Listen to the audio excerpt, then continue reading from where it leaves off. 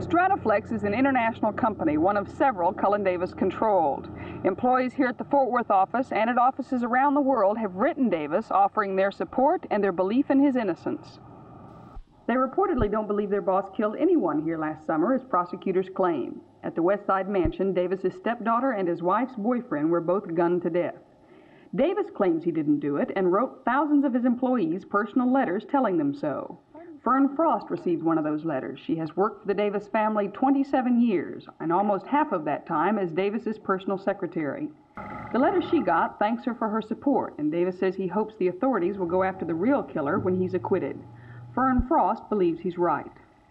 It's just hard for me to express what it's like when you feel that someone has been treated unfairly and they shouldn't be in the position they are, and then to see them there, it's kind of hard to take.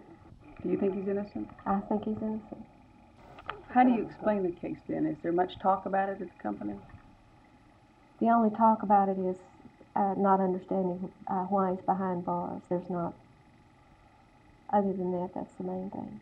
No specific talk about the case, the facts of the No. case. Mm-mm. What is the general feeling among employees of Cullen Davis of his wife or, or estranged wife, Priscilla Davis? We don't discuss it.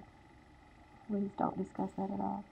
The Cullen Davis murder trial begins in about two weeks, and the proceedings will certainly be watched closely by the people who work here. Maury Dial, Channel 8 News, Fort Worth.